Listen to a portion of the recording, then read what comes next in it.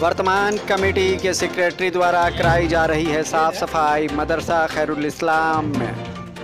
हाजिर में Sheikh Mujahid हुसैनाबादी RBC channel के माध्यम से आज दिनांक 14 आठ 2020 को जुमा की नमाज़ के बाद हुसैनाबाद मदरसा खैरुल इस्लाम के प्रांगण की साफ़ सफ़ाई विशेष रूप से कराई जा रही है। आप देख सकते हैं, ये सब कल 15 अगस्त की तैयारियाँ हैं जो आपको मैं दिखा रहा हूँ। मौके पर आप नायब सदर को भी देख सकते हैं जो खड़े हुए हैं। आइए जानते हैं मदरसा के सेक्रेटरी से उनका क्या कहना है। हम लोग मदरसे में असर सफ़ाई का काम कर रहे हैं इसलिए कि कल 15 अगस्त का झंडा तोलन करना है।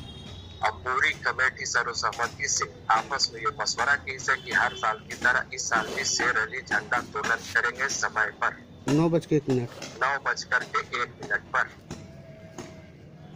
चलिए थैंक यू आपको बताता चलूँ कि सेक्रेटरी के कहने के अनुसार बसपा नेता शेर अली नौ बजकर एक मिनट पर कल झंडा तोलन करेंगे।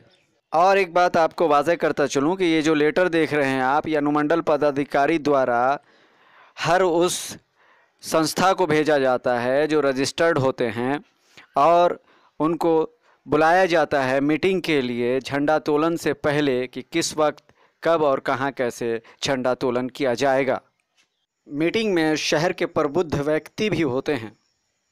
इस लेटर में खैरुल इस्लाम मदरसा के सेक्रेटरी का भी नाम शामिल है।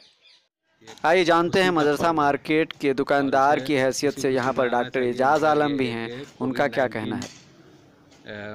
कोरोना वायरस जो महामारी चला हुआ है, इसका सोशल डिस्टेंसिंग करते हुए इस महापर्व को मनाना है और इस मदरसे में हर साल की भांति इस साल भी मनाया जाएगा और शेर अली के हाथों झंडा तोलन किया जाएगा।